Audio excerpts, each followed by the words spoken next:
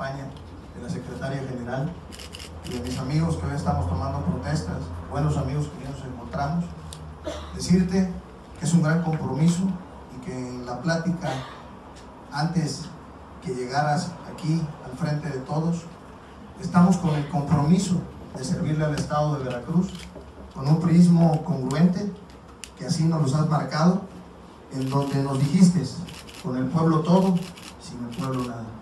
Somos políticos que sabemos lo que se debe hacer para ganar elecciones, pero también sabemos el compromiso ideológico que tiene nuestro Partido Revolucionario Institucional con la gente.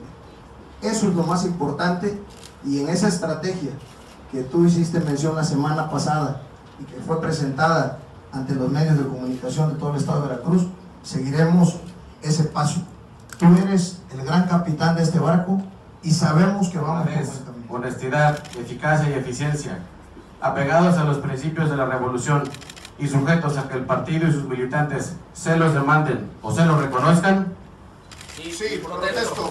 estoy seguro de que así lo harán. Muchas felicidades.